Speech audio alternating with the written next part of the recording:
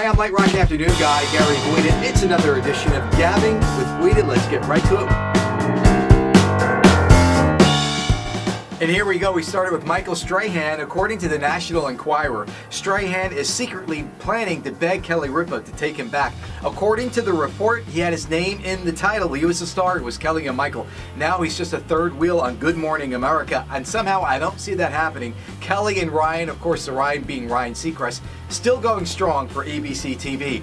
From Kelly and Ryan and Michael Strahan, we go to Mariah Carey. According to Billboard.com, she's set to release her new album. It's called Caution.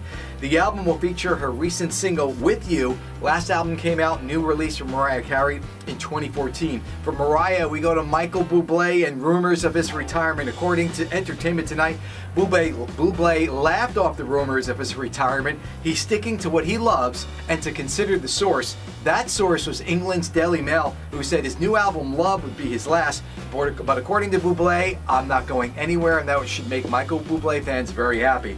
And finally, we wrap it up with Orange is the New Black. Netflix announced the upcoming seventh season will be the final one. The show, along with House of Cards, put Netflix on the map back in 2013, and the final season of House of Cards without Kevin Spacey is set to debut on Netflix on November 2nd. And that'll wrap up this edition of Gabbing with Guida.